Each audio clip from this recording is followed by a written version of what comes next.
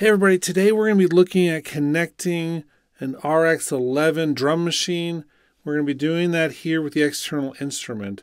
I'll show you some photos in just a minute, but this is a really handy way to be able to use our external outboard hardware instruments inside Logic.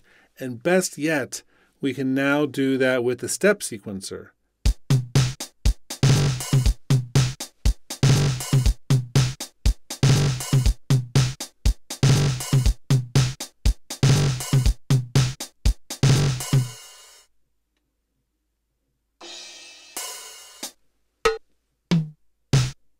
So you can hear all the different sounds. You can assign them inside the step sequencer. You can make a fully custom instrument. All you have to do is have a MIDI cable from your computer. Uh, it can be directly from an interface or a separate MIDI interface.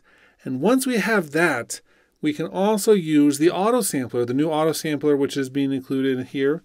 And I'm going to just take, and I've already mapped out the right notes. I tested them out found out that the velocity is all happening in the lower velocities of the each drum pad. And so I just really picked the things that were useful for that. So the one shot, the lower velocity levels, not even doing too many of them. I chose three seconds because none of the samples last longer than three seconds. So I wanted to do that. And once I had all that, it was super easy just to add uh, that instrument as an EXS file, which plays directly in the sampler.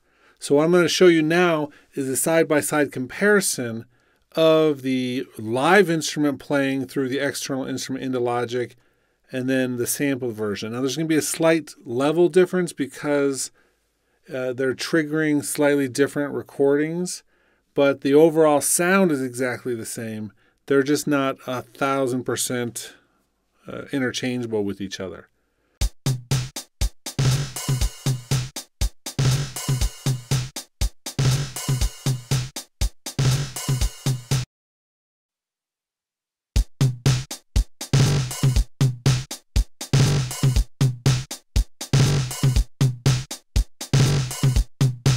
But once we have that, once it gets put in there, then we can actually come through and take that instrument and, and use it in a variety of different ways.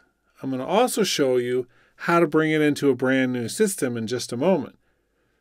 Okay, so the connections we need then to summarize, you need to have the MIDI outputs of your computer either from a MIDI device or from a MIDI port on, a, on your audio device.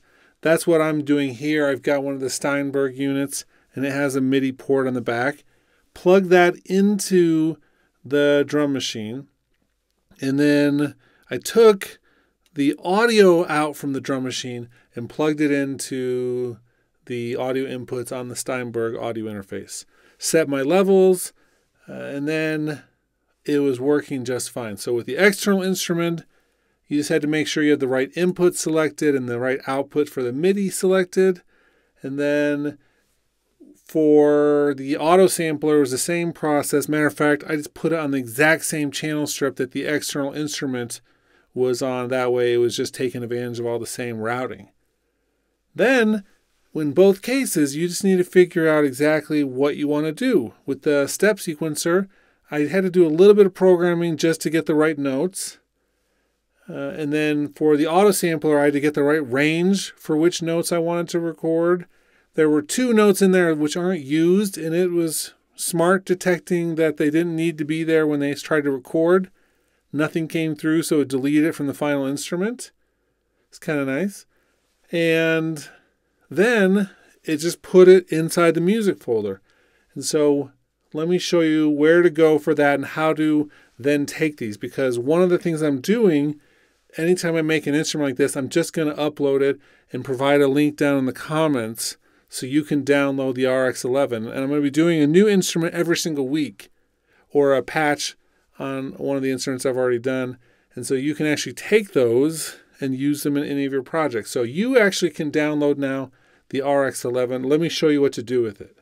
Okay, so you're going to get the files, and it's going to be a folder that has the RX11 .exs and then this folder full of the samples. what you need to do is come over into your music folder, the audio music apps, and then we have the sampler instruments. We have auto sampled, and you're going to drag the RX11 into that folder. Well, let me just copy it. I don't want to actually move it. Let's copy it and paste it. And then down on the samplers right next to that, auto sampled again. I'm going to copy this and we'll paste it into there. Now, when I come into Logic, let's create a new empty project. That's fine. We'll do the sampler. And you'll see in here the auto sampled option. And there's the RX11. That's the one I just copied in.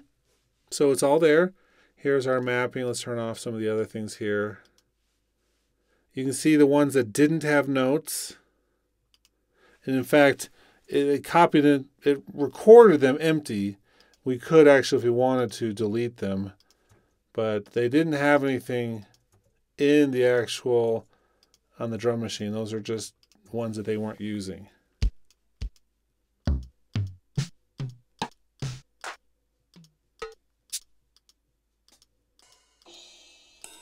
Now I will say the RX11 is not one of the like most renowned drum machines, but it's one that has been used by a lot of professionals over the years. The RX5 is the the other one that's in that same family, and they've been used a ton. And this is a, a classic sound. You can probably find some of these old machines online. I would at this point consider them somewhat vintage or old school. And it's just great to be able to have access to these without having to necessarily have that hardware attached. So now I can come into my track, step sequencer, and you can see what I already had going there. But some of these in the default will already work. But the lower kick, uh, I think it was like A. Yeah. And it's really cool how we can do uh, the whole multi steps on this. So we have the ability to come through and do, uh, let's see, we want to do the note repeat. It's one of my favorites for some of these things. So we can just do one on there. And then on here, let's just do two, but we'll do this one like eight or something.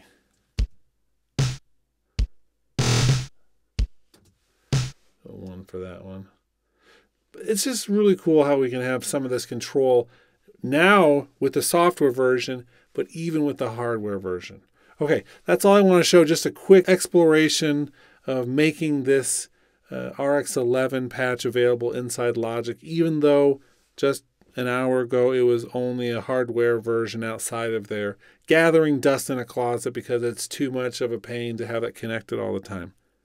Okay, last thing, make sure you do uh, follow the link in the description. You'll be able to download this instrument so you can have the RX11 too, and you can use it however you want. Okay, talk to you later. We'll do another sampled instrument next week and some other video tutorials early next week.